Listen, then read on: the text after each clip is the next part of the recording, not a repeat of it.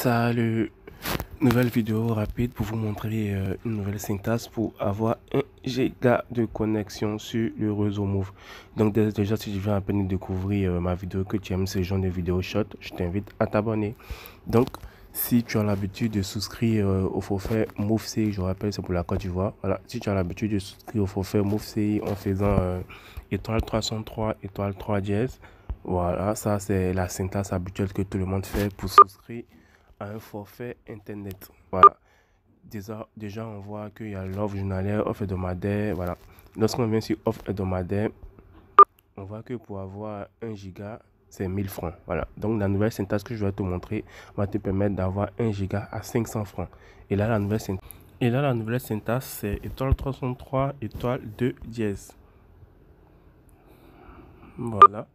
Une fois que tu lances, tu vois appel tout réseau et forfait internet. Donc tu vas faire un acheter ou si tu veux offrir un tiers, c'est deux.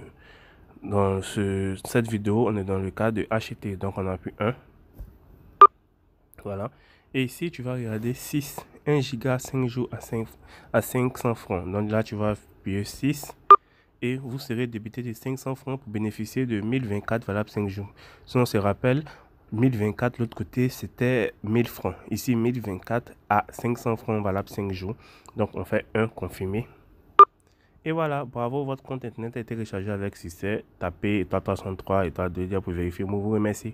Tout simplement, voilà. Il ne faut pas avoir 500 francs juste dans ton compte. Tu dois avoir 600 francs. Voilà, 600 francs.